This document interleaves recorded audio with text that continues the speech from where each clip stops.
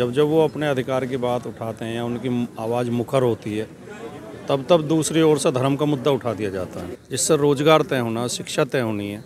उस मुद्दे को छोड़ के अगला जन्म सुधारने में लग जाते हैं कि स्वर्ग में हमारी सीट आरक्षित हो जाएगी। जो संविधान की रक्षा के लिए खड़े थे उन्हें खलनायक बताया जा रहा है और जो कानून तोड़ रहे थे उन्हें नायक की तरह पेश किया जा रहा है। ये देश की जनता को तय करना है कि देश संविधान से कानून से चलेगा या भावनाओं से चलेगा आस्था से चलेगा। हमारा एजेंडा है कि हाँ, मैं गरीब की बेहतरी के लिए शिक्षा के लिए रोज़गार के लिए सामाजिक न्याय के लिए चुनाव लड़ना है। तो ये तो जनता को तय करना है कि वो धार्मिक मुद्दों के बहकावे में आती है या अपने बच्चों के भविष्य के लिए वोट डालती है। कर्पूरी ठाकुर जी को जिन कार्यों के लिए भारत रत्न दिया गया है जब वो वे कार्य कर रहे हैं तो ये थे तो यही लोग उन्हें गाली दे रहे थे। कर्पूरी ठाकुर जी के रास्ते में बार बार रोडे अटकाए गए, उन्हें मुख्यमंत्री पद तक से हटाया गया। देश में लंबे समय से ये सामाजिक न्याय की बात उठती रही है तो जिन्हें सामाजिक न्याय का विरोध करने के लिए हमेशा सनातन और हिंदुत्व और धार्मिक मुद्दे उठाए जाते हैं। जब जब दलित, पिछड़े वर्ग, दबे, कुचले वर्ग जो वंचित रहे हैं हज़ारों साल से जब जब वो अपने अधिकार की बात उठाते हैं या उनकी आवाज़ मुखर होती है तब तब दूसरी ओर से धर्म का मुद्दा उठा दिया जाता है। एक तरफ़ दलित एक तरफ़ दलित पिछड़े की बात कर रहे हैं अखिलेश यादव लगातार बात कर रहे हैं तो क्या लगता है कि राममय करने से या राम राज्य की बात करने से बीजेपी ने लीड ले लिया है? लीड तो अब ये पता चलेगा कि चुनाव में क्या रिज़ल्ट रहता है। लेकिन देखिए धार्मिक जो बात है वो एक अज्ञात सत्ता की बात है अलौकिक उसकी बात है। और जो सामाजिक न्याय की बात है, वो भौतिक संसार की बात है। जो सामने है, उस पर ध्यान होना चाहिए, या जो कल्पना में है, उस पर ध्यान होना चाहिए। अब ये हमारा पिछड़ापन कह लें, या बौद्धिक दिवालियापन कह लें, कि हम काल्पनिक बातों में आके अपनी यथार्थ स्थिति से मुँह मोड़ लेते हैं। जो जो, जिस मुद्दे से हमारे बच्चों को भविष्य तय होना है, जिससे रोज़गार तय होना, शिक्षा तय होनी है, उस मुद्दे को छोड़ के अगला जन्म सुधारने में लग जाते हैं। कि स्वर्ग में हमारी सीट आरक्षित हो जाएगी या हमें अगले जन्म में अच्छा जन्म मिलेगा। तो काल्पनिक बातें बहकाने की बातें हैं। जो ये एक काल्पनिक ग्रंथ लिख रखे हैं उनमें झूठी बातें लिख रखी हैं। उनका रट्टा लगाने को विद्युता कहते हैं। विद्वा विद्युता या ज्ञान से तो मतलब ये है जो व्यक्ति का जीवन सुधारता हो वो विद्युता है। तो लगातार सोशल मीडिया पे लगातार सोशल मीडिया पे ये गोली चलाने गोली मरवा गोली चलवाया है। मतलब राम विरोधी सपा को राम विरोधी दिखाया जा रहा है। तो कैसे लड़ेगी सपा? नहीं गोली चली थी तो कानून के दायरे में चली थी। संवैधानिक जो अधिकार थे जिन्हें जो पुलिस थी वो शासन की पुलिस थी राज्य की पुलिस थी। गोली चलाने के चलाने वालों के खिलाफ किसी थाने में कोई मुकदमा नहीं हुआ किसी कोर्ट में कोई केस दर्ज नहीं हुआ तो वो गैरकानूनी तो था नहीं। जो काम कानून के और संविधान के दायरे में हो, किसी भी दृष्टिकोण से गलत नहीं है। असंवैधानिक और गैरकानूनी काम किया इन्होंने किया? पहली बार तो जबरन आके एक मस्जिद के अंदर मूर्ति रखी। फिर उसे ज़बरदस्ती गिराया गया, कानून तोड़ा गया, उसमें मुकदमे दर्ज हुए, न्यायालय में मुकदमे चले। तो जो गैर संवैधानिक काम और गैर कानूनी काम तो इन्होंने किया। गोली चलाने वाले तो संविधान की रक्षा के लिए खड़े थे। वो तो सुप्रीम कोर्ट का आदेश था कि बाबरी मस्जिद को नुकसान न पहुंचनी चाहिए तो प्रत्येक शासन का कर्तव्य होता है कानून व्यवस्था बनाए रखना और गैरकानूनी काम न हो। लेकिन आज माहौल ऐसा हो गया है कि जो संविधान की रक्षा के लिए खड़े थे उन्हें खलनायक बताया जा रहा है और जो कानून तोड़ रहे थे उन्हें नायक की तरह पेश किया जा रहा है। ये देश की जनता को तय करना है कि देश संविधान से कानून से चलेगा या भावनाओं से चलेगा आस्था से चलेगा। ये राम माहौल, ये जो राममय माहौल हुआ है, इसमें अगला वर्ष पिछड़ा पिछड़ा फिर से हो पाएगा? विपक्ष करने में कामयाब होगा?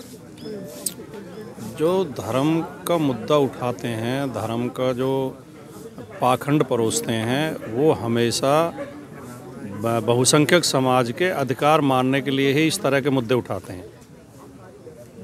वरना धर्म व्यक्तिगत विषय है, निजी विषय है, आस्था निजी होती है हर व्यक्ति की।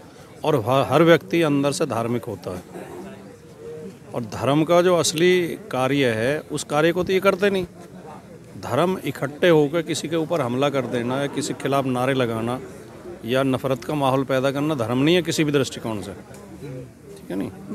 तो ये तो केवल अपने स्वार्थ के लिए इन मुद्दों को उठाते हैं। भोली भाली जनता बहकावे में आ जाती है, वो समझते वो अधार्मिक कृत्यों को धर्म समझने लगती है भोली भाली जनता। चर्च पर एक झंडा लहराया गया भगवा झंडा लहराया गया। जगह जगह चर्च पर कहीं मस्जिद पर दूसरे धर्म स्थलों पर और इतना ही नहीं दूसरे धर्म स्थलों पर नहीं जहाँ इन्हें ये दिखाई देता है कि दलित हैं या पिछड़े हैं उनके ऊपर हमले हो रहे हैं। केवल दूसरे धर्म वालों पर नहीं हिंदुओं में भी दलित और पिछड़ों पर जगह जगह हमले हो रहे हैं। अब देखते नहीं? 2024 के लिए सर एजेंडा कहा जा रहा है कि बीजेपी अपना एजेंडा सेट कर ली है। उसमें बहुजन समाज पचासी परसेंट या नब्बे परसेंट कहाँ पे पाता है अपने आप को? 2024 को चुनाव देखिए ये तो समझने का विषय है जागरूकता का विषय है। भारतीय जनता पार्टी ने अगर ये एजेंडा तय कर लिया है कि उन्हें राम के ऊपर चुनाव लड़ना है और धर्म के ऊपर चुनाव लड़ना है और हमारा एजेंडा है कि हाँ हमें गरीब की बेहतरी के लिए शिक्षा के लिए रोज़गार के लिए सामाजिक न्याय के लिए चुनाव लड़ना है। तो ये तो जनता को तय करना है कि वो धार्मिक मुद्दों के बहकावे में आती है या अपने बच्चों के भविष्य के लिए वोट डालती है। नहीं, जिस तरह से ये देखा गया कि जो सेलिब्रेशन हुआ राम मंदिर को लेकर के पूरे पूरे भारत में जो है लोगों ने मनाया, दिवाली मनाई एक तरीका से। तो ये देखा जा रहा था कि पूरा जो है भगवाकरण पूरा देश हो गया है, एक तरीका से। उसमें बहुजन समाज जो है, हम तो ये कहेंगे पचासी परसेंट जो बहुजन समाज है, मात्र पंद्रह परसेंट वो वो समाज है, सवर्ण समाज है। तो पूरा देश अगर भगवाकरण अगर दिखाई दे रहा है तो 2024 में फिर बहुजन समाज कहाँ पे होगा? नहीं आपने खुद ही अपने सवाल में कहा कि वो पंद्रह प्रतिशत हैं जो कमंडल वाले हैं। जी। और हम पिचासी प्रतिशत हैं जो मंडल वाले हैं। लड़ाई मंडल बनाम कमंडल की है। अब ये अगर हमारे लोग उनके बहकावे में आ गए जी। तो अलग विषय है। वरना पिचासी और पंद्रह की लड़ाई में कौन जीता गई तो सोचा जा सकता है। लेकिन इस लड़ाई में सर बीजेपी ने बड़ा खेल किया है कि ये कि एक तरफ़ आदिवासी मुख्यमंत्री फिर ओबीसी मुख्यमंत्री। अब कर्पूरी ठाकुर जी को भारत रत्न। तो कैसे समझाएँगे लोगों को कि भाई हम बहुजन राजनीति, हम असली करते हैं? कर्पूरी ठाकुर जी को जिन कार्यों के लिए भारत रत्न दिया गया है, जब वो वे कार्य कर रहे हैं तो ये थे तो यही लोग उन्हें गाली दे रहे थे।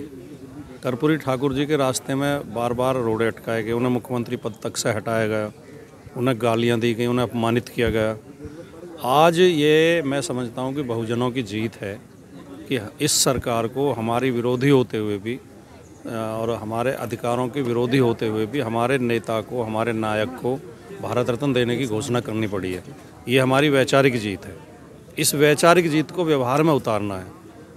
जिस विचार को भारत रत्न दिया गया है, उस विचार को लागू करना है। बस इतनी लड़ाई है। इस वैचारिक जीत में बीजेपी को फ़ायदा होगा?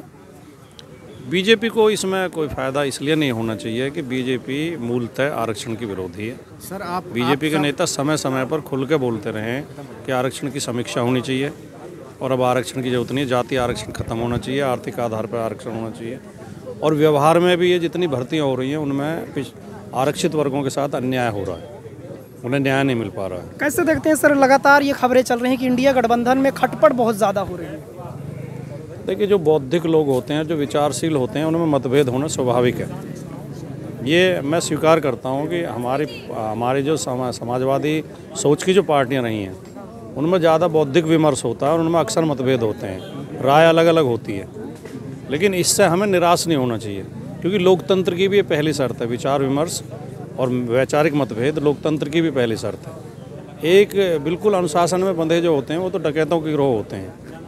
जो समाज सुधारक होते हैं उनमें अक्सर मतभेद होते हैं उनमें वैचारिक बहस होती है। थोड़े बहुत मतभेद हैं ये बात आपकी सही है लेकिन हमें उम्मीद है कि मतभेद सुलझा लिए जाएँगे और एक होकर चुनाव लड़ेंगे। अच्छा एक एकजुट मुद्दा होगा लगता सेकंड एक मुद्दा सर जो है भारत देश में गरमा रहा है। सुप्रीम कोर्ट के जो वकील हैं आप जंतर मंतर पे जो है ये देखा गया कि ईवीएम को लेकर के बहुत ही जो है ये कह रहे हैं कि बैलेट पेपर से चुनाव होना चाहिए।